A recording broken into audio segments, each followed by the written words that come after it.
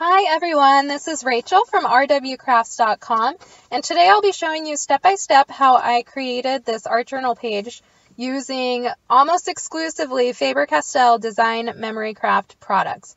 So you can see here my art journal has already been gessoed and then I wanted a lot of texture, especially along the bottom. So I made the gesso very, very, very thick I, and then kind of lifted it up with my palette knife. And then I let it dry and I have texture already on my page before I do anything else. So you can see now I'm going through and just scribbling some of my double scoop gelatos. I'm using the colors uh, guava, I believe is the light pink, and then I have bubblegum is the darker pink, and lemon is the yellow. And I heavily sprayed it with my water mister. So once I give it a good spray of water, I can go through with my fingers and just blend it all together. That's what I love about gelatos is how they react with water. And you can see how easily, I barely even have to try, they just go and they mix into each other. I almost put down an orange gelato, but then remembered that once I mix kind of the pink and that yellow, it's going to give me that orange effect anyways. So I didn't have to use that. Now I'm just adding a few more pinks to the top, blending it all together. And I did end up going through with white as well. Where you see the white space, I went in with a white gelato. Now I love doing this. I just did a quick wipe over with a wet baby wipe. And it kind of pulls all the color down into each other. I really like that effect. And it's something that's so simple, but it gives you such a big impact.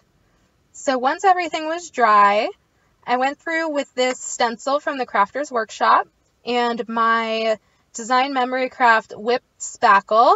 This is their modeling paste. I really love Whip Spackle because it dries so quickly and it's so fluffy that it really gives you the dimension that you want on your stencil. So I'm going to only use this arrow stencil here. And I'm going to put that in a few different places all throughout my art journal page.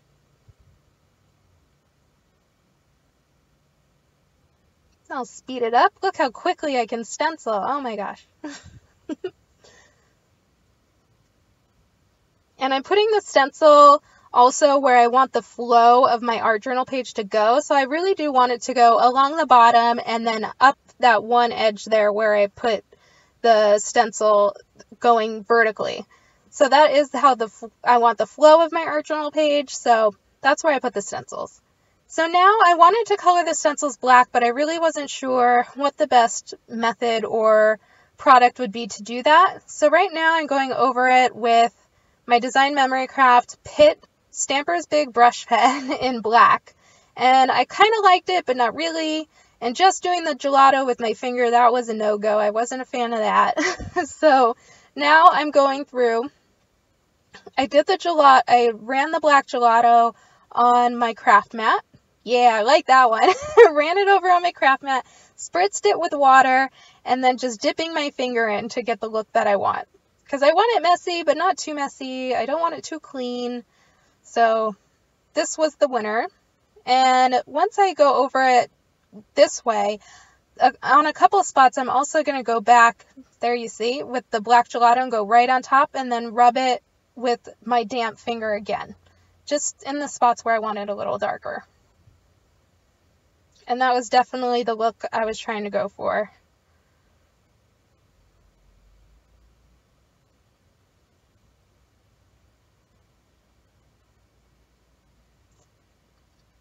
So now I want to add just some very, very thin black stripes. I want more black on the page. I don't want it to be so centrally located on those stencils. So I'm trying to, again, figure out the best way to get my black stripes. And just doing the gelato on my palette knife didn't quite work. So now you can see I did ran the gelato across my palette knife and then just dipped my palette knife into that spritz of water. And I love this look. I was so happy with how this turned out. And I'm telling you guys, this all this art journal, I'm experimenting with you. I didn't have these techniques planned out. I wasn't sure how I was going to do that. And I am just so happy with how that looks. I really, really love those thin, thin lines and it blended so well once I just put the palette knife in a dip of water. So now I'm highlighting these lines with my Stampers Big Brush Pen in white. So I'm just going along each edge to kind of just brighten it up a little bit.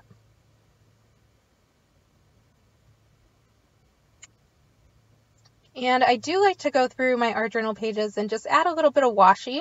So I grabbed some washi tapes that I thought would match. I'm only going to end up using two of them.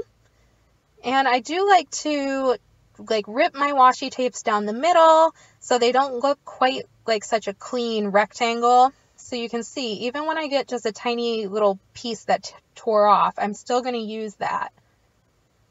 And I'm mostly going to put the washi tape around where my stencil was. Again, because that's where I want the flow of my art journal page to be. So I finished putting down my black, and now I'm going to put down this, uh, it's like a pink with gold polka dots. This one doesn't rip so easily down the middle, so I'll just use smaller pieces so it doesn't look so clean. And you can put them vertically, diagonally, however you want. Now I set my art journal aside and I'm ready to get going on my main image. This is a stamp by Unity Stamp Company. It's a large, gorgeous flower stamp. I'll have the uh, item posted below. And I'm coloring over it with my Stamper Big Brush Pen in black. This is essentially like a permanent ink pad when you use this marker because the Pitt pens and the Stamper Big Brush pens are all India ink. So once it dries, it is permanent. So it's just as good as using like a permanent black ink pad. I'm giving that a good press on watercolor paper since I know I will be getting it wet. And once the uh, Stamper's Big Brush Pen dried, I'm going to start going over it with some gelatos. Now I wanted the gelatos to be different color family from the rest of my art journal page. That's why I'm going with these cool colors. And I just put some down on my craft mat and you can see I sprayed them with water. And now I'm just going to rub them around wherever on this flower image. So the light blue there is, that was my double scoop gelato in snow cone. And then the darker blue is double scoop gelato metallic mint. And the purplish color is the double scoop gelato in raspberry. And I'm just kind of spraying down the whole thing to get the colors flowing a little more. And then just tweak it how you want it. If you want it darker, add more. If you want it lighter, then you can add more water and you can almost take the pigment out uh, with the water and just rub your finger over it. So I'm going to let that dry.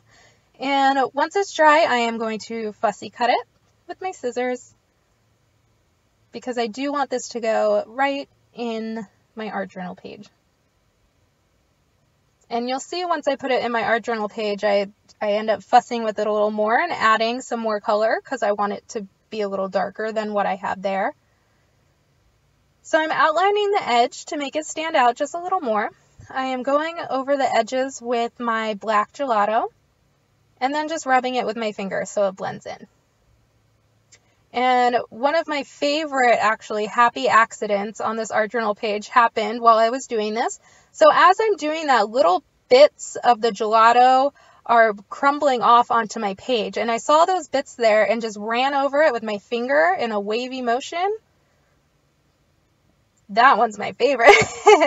I love that. It was such a happy accident. And now I'm going to try and recreate it on purpose. And I'm sure it will never look that good. but that was just from the little bits that came off of the gelato as I was going across the edge of the stamp. And now I'm putting down some foam tape to just pop it up a little bit. And to make sure it adheres, I'm using Design Memory Craft Gel Medium. I'm putting that over the foam tape because even if the foam tape sticks originally, I'm sure it wouldn't last just with the foam tape, but the gel medium will really make sure it sticks in my art journal. Decide where I want it. Mm, yeah, I wanted it where I originally wanted it. Go figure. so I'm going to give that a good press. And to make sure it's really pressing into all the bumps and grooves of my art journal, I just put a heavy acrylic block on top of it.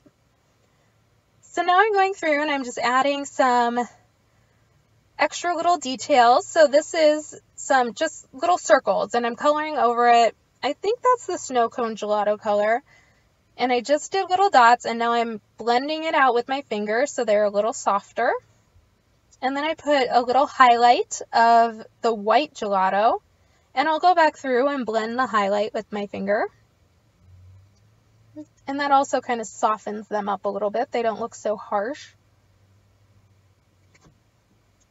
And when I did that, I realized I needed some of that bright blue color to be brought into my flower. So you can see I kind of just went around the petals, the petal lines of the flower with that same color. And now I'm blending that with my pinky. and then also added some more of the raspberry color there. And now again, for more highlights, I am wrapping around them with my white Stampers Big Brush Pen. And you can also blend the Stampers Big Brush Pens with your fingers, especially if it's on a non-porous surface. So that's what I'm doing here. And finally, I am adding a quote. I'm using my silver Pitt pen, which is also permanent once dried. I'm doing a simple quote that I'm sure you've heard before. It just says, bloom where you are planted. In my own not fancy handwriting, that's okay. Embrace the handwriting. And then I'll sign it on the bottom. And that's done. So here is my art journal page. I did as much as I could using Faber-Castell Design Memory Craft products. I love these products and I loved experimenting with you while the camera was on. Thank you so much for joining me. All of the products I used will be listed in the description below. Thanks again for joining me. You can find more at rwkrafts.com. Bye.